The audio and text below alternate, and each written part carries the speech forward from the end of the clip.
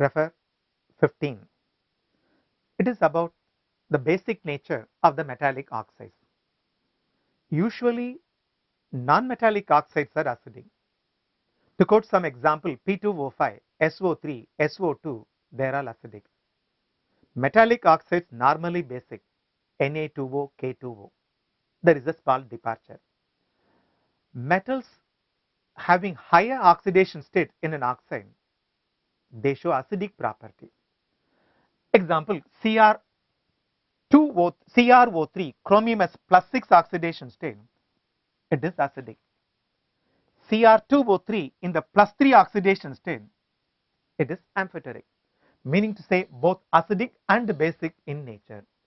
Vanadium pentoxide of course it is the highest oxidation state but it shows anomalous amphoteric in nature.